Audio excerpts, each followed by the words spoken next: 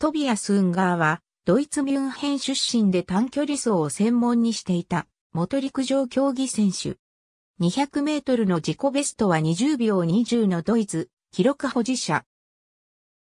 2004年アテネオリンピックと2005年、ヘルシンキ世界選手権の男子200メートルファイナリスト、2004年、ブダペスト世界室内選手権の男子200メートル銅メダリストである。2004年3月、ブダペスト世界室内選手権の男子200メートルに出場するとシニア世界大会で初のファイナリストとなった。決勝ではドミニク・デメリット、ヨハン・ウィスマンに次ぐ21秒02で銅メダルを獲得し、この種目ではドイツ勢初のメダリストとなった。2004年8月、アテネオリンピックに出場すると、男子200メートルの二次予選を20秒30の自己ベストで突破。準決勝は20秒54とタイムを落としたものの、決勝に進出できる組4着に入り、この種目では20年ぶりとなるドイツ勢ファイナリストとなった。決勝は20秒64の7位でメダルは獲得できなかった。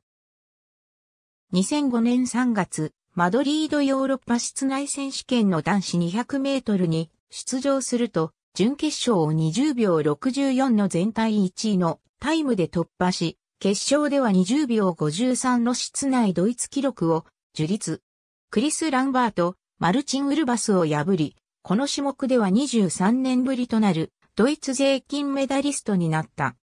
2005年7月3日、ドイツ選手権の男子200メートルで20秒20のドイツ記録を樹立し、1985年にフランク・エンメルマンがマークした20秒23を塗り替えた。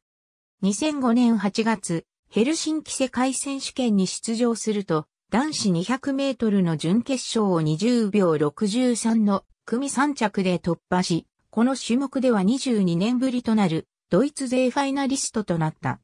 アテネオリンピックに続く2年連続の世界大会決勝だったが、結果は20秒81で7位に終わった。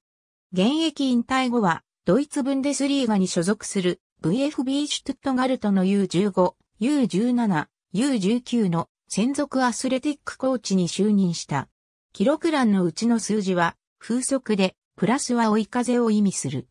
備考欄の記録は当時のもの優勝したドイツ選手権を記載。ありがとうございます。